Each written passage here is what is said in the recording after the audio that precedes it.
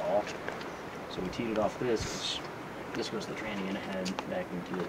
So can't I can't run the tranny in the vacuum. The vacuum vent should have a very small, minute amount of vacuum. You don't want to blow a bunch of vacuum to it because it'll open the vent.